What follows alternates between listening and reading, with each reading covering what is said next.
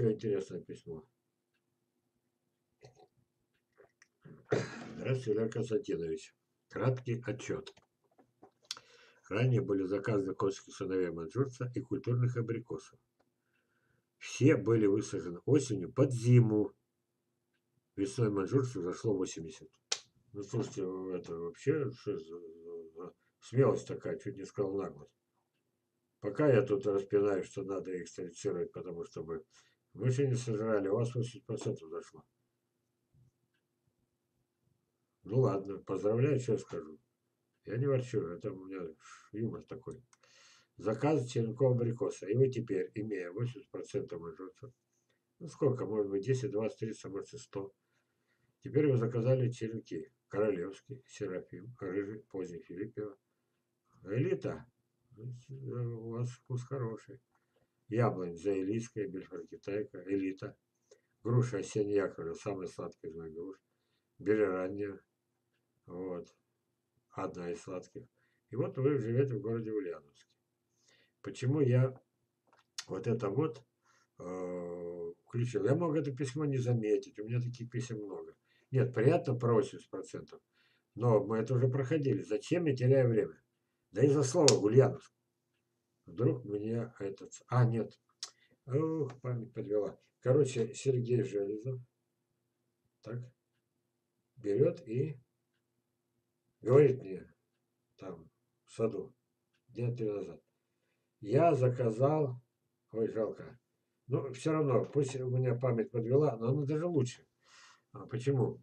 Он, я заказал 40 сортов, черенков, яблонь и груш. Только вот не в Ульяновске, это меня подвела память, а в этом, в Волгограде. И тут я вдруг, ну, господи, в Волгограде живет наш, один из этих самых лидеров нашего кружка. Вот. Сергей Анатольевич Пащенко. И на каждом вебинаре присутствует. Надеюсь, сегодня присутствует. Сергей Анатольевич, смотрите, мой разговор с Сергеем, а вы как бы это, смотрящие в том районе. Вот, так же, как вот Юрий Железов, у которого мы абрикосы заплодоносили, там, в Костромской области, он назначил смотрящим брата, ну, я полушутя, смотрящим за по, по, это, по Костромской области. И так у меня везде смотрящие. По Брянску ясно кто. Олег Олегович.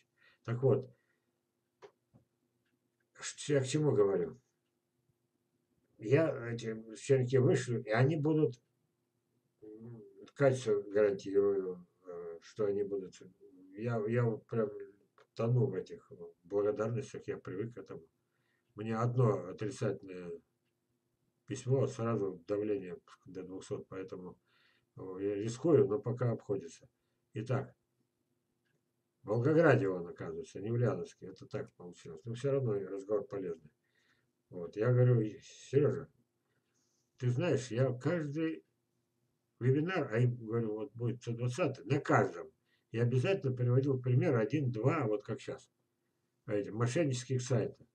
Ты представляешь, как тебя, тебя крымский питомник кинул? Кинул. Ты представляешь, что будет это самое, когда тебя это кинутся с щенками? А там было написано, лучшее во всей области, именно в этом. И он не смело говорит, я все проверил, я там как-то связывался. Действительно, эти черенки будут лучшие.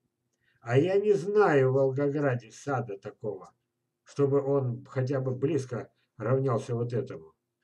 Хотя бы близко. Не знаю. Сергей Анатольевич, вот вы там живете, да? Он назвал город Волгоград.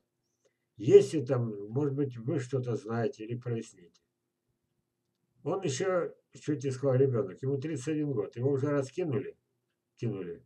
Вы представляете, все-таки мы с вами сейчас учимся. А как мы учимся? Итак, вы заказываете саженцы. Неважно, у Сергея или у Иванова Петрова Сидорова, вы говорите так, у меня весна начинается, допустим, в середине апреля. В середине апреля я могу посадить. Обращаются, как правило, в более южные районы.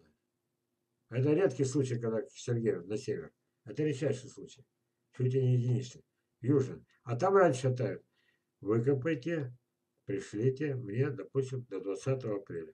Пришлите до 20 апреля, я приду на почту, наложенный платеж оплачу. Приш, придет квитанция 21 апреля, я не пойду. Они пролежат месяц на почте, вернутся к вам. Вы за них снова заплатите, я платил так, вот, за возврат заплатите и выбросите их. Они будут полностью испорчены. Вот ставлю вам условия. Первый вариант. Питомник не связываться нахрена надо. Все равно они знают, что это. Ну, шанса мало, что дойдет. Вот. А у меня-то как? Я Железов старший. Если у меня сейчас взять все квитанции, я могу как-то их показать. Вот сейчас я только сейчас сообразил. Везде обычная посылочка, даже до килограмма. 400, 500, 600 рублей. Особенно человеку. Почему так дорого? Ускоренная почта, ускоренная почта. Я э, боюсь вас брать 500-600, знаете. Я стесняюсь, просто стесняюсь. Я с вас беру 300-400 и добавляю 100-200, а бывает и 300 рублей, как бы, как бы со своего кармана. Потому что каждый раз квитанцию, когда я забираю с почты, там цифра 500, 400, 500, 600. Даже за маленькие посылки. И вот получается, что если это требование вам отказывается выполнить, они просто не пришлют. А если вам пришлют, а вы при, приходит, э, вы заказали, все нормально. Но приходит 1 мая, у вас уже давно все цветет. Даже в Сибири цветет. Или начинает цвести. Какая к черту посадка, опоздали. И вдруг приходит посылка. А вы сказали, до 20 или до 15 выкуплю, а после нет. И чистой совестью вы, вы вот так вот квитанцию. И все, и не пошли за ней.